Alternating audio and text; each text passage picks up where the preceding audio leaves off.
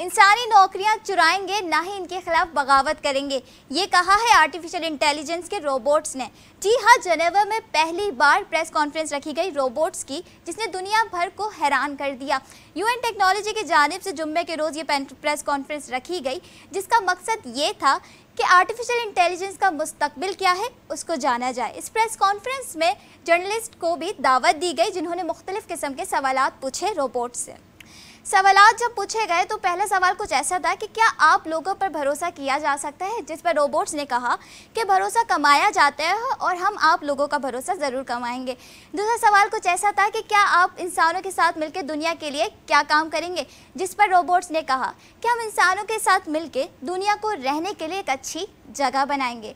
तीसरा और सबसे इम्पोर्टेंट सवाल ये था कि क्या वाकई आप इंसानी नौकरियों को नहीं चुराएँगे?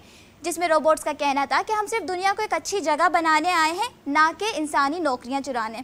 रोबोट्स तो कभी झूठ बोलते नहीं, लेकिन जिस कदर आर्टिफिशियल इंटेलिजेंस तरक्की कर रही है, उसको देख के तो यही लगता है कि वो दौर दूर नहीं होगा जब इंसानी नौकरियाँ वाकई ही खतरे में आ जाएँगी।